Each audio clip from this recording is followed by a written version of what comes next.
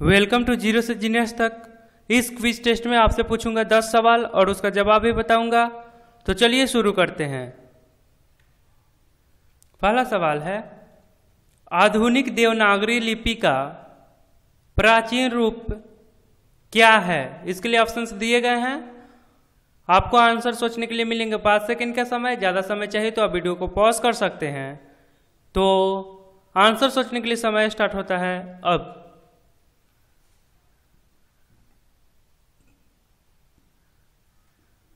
Right answer है option number C Pali सवाल number two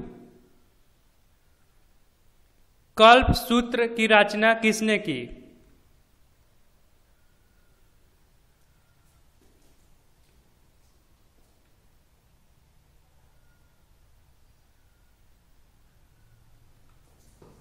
right right answer है option number D Bhadrabahu ने. सवाल नंबर तीन.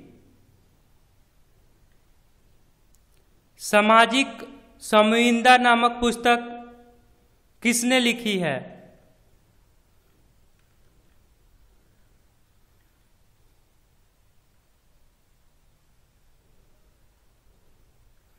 राइट right आंसर है ऑप्शन नंबर ए रूसो ने।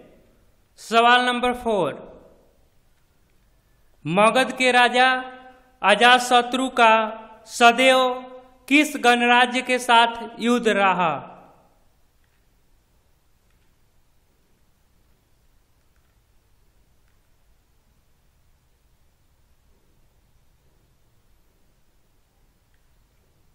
राइट आंसर है ऑप्शन नंबर ए वैशाली सवाल नंबर पाँच.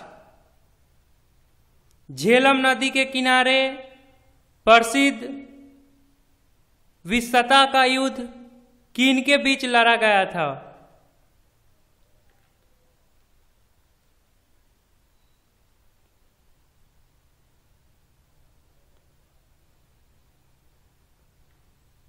राइट आंसर है ऑप्शन नंबर सी पोरस और सिकंदर के बीच। सवाल नंबर छ सिकंदर के हमले के समय उत्तर भारत पर निम्न राजवंशों में से किस राजवंश का शासन था?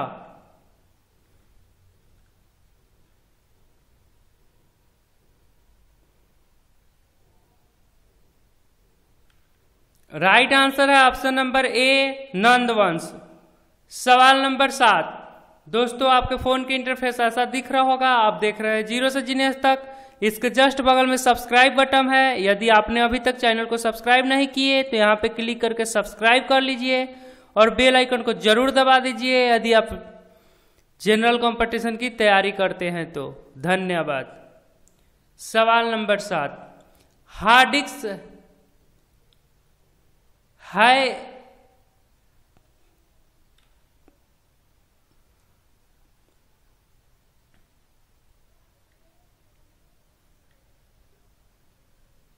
सवाल को एक बार फिर से समझ लीजिए।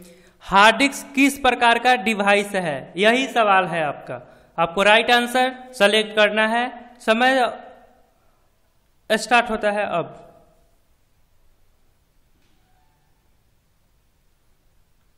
राइट right आंसर है option number C, secondary memory. Hard disk क्या है? तो एक सेकेंडरी मेमोरी है। ओके। सवाल नंबर आठ। भारतीय भाषा के पहले सर्च इंजन का नाम क्या था?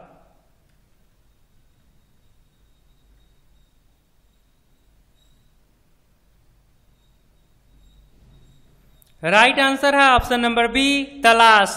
सवाल नंबर नौ।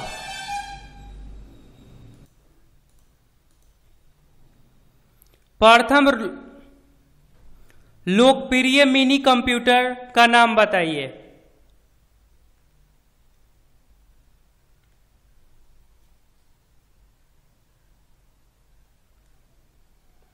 राइट आंसर है option number C PDP zero eight okay PDP eight सवाल नंबर टेन सीडेक की स्थापना कब हुई थी?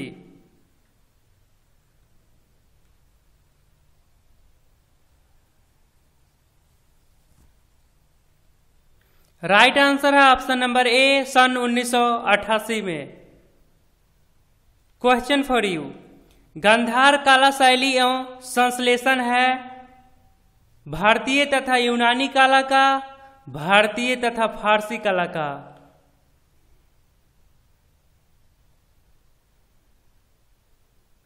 राइट आंसर आपको कमेंट बॉक्स में कमेंट करके बताना है।